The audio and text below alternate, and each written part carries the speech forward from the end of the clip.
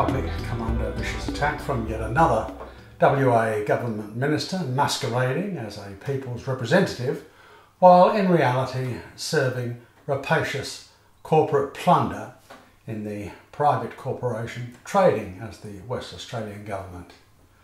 Just the other day, the entire Australian populace uh, endured the contemptuous derision of the WA Minister for Mines, Mr. Sean L'Estrange, in his ludicrous attempt to dismiss a countrywide fracking protest involving countless thousands from every walk of life right across the nation as a scare campaign.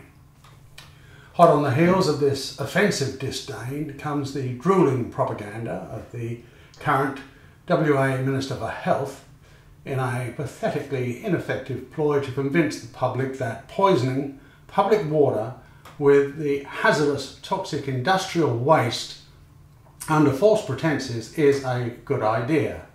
Well, it isn't, and the public know it. The overwhelming majority vehemently opposed to fluoridation are familiar with the fluoridation lies and deceit customarily trotted out in Orwellian doublespeak. The term public health initiative actually translates to mass poisoning. Opponents understand this craven medical mafia's every utter, utterance issues from forked and lethally venomous tongues. The Minister of Health's grubby missive did contain one sliver of fact, revealing that anti-fluoridation activists condemned the Department of Health attack dogs who were dispatched to deceive the public in their role as propagandists and outright liars. He pointedly failed to mention that all community attendees at these shambolic sessions were unequivocally opposed to fluoridation, a position solidly reinforced after the medical mafia antics of the DOH disinformation squad.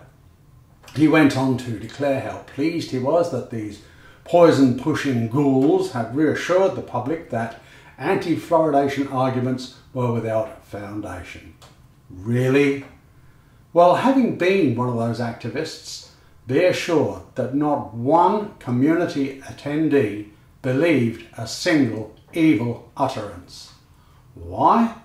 Because for decades we, along with an ever increasing numbers, have rigorously studied the medical literature, listened carefully to the presentations of preeminent toxicologists, well-informed dentists, oral hygienists, and the World Health Authorities to discover that the so-called WA government science is the aspect that is entirely without substance. 98% of the world either rejects, abruptly discontinued, or never indulged the unforgivable scam of disposing hazardous toxic industrial waste into public water supplies in the first place. The Minister furnishes even more falsehood, claiming that a preceding legitimate consultation process, which, according to disaffected residents, either never took place or if it did, the community were never advised. What did occur was the secretive introduction of a water treatment plant that the community didn't ask for, don't want, and emphatically reject. The millions of dollars of public money criminally misspent on this malicious evil could have and should have been utilised on something of community benefit. And had the community been properly consulted, this might have been the case. But they weren't and the loathsome DOH conniving took place behind closed doors and without public consent.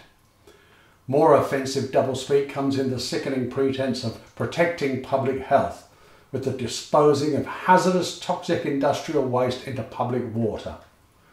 The obscene absurdity of this evil proposition isn't lost on an ever-growing mass of critical thinkers, increasingly disgusted with the corrupt government tyranny. Water fluoridation is a crime against humanity, and all those seeking to unlawfully inflict this human rights abuse upon a fiercely resisting community will face the consequences. Thank you for watching.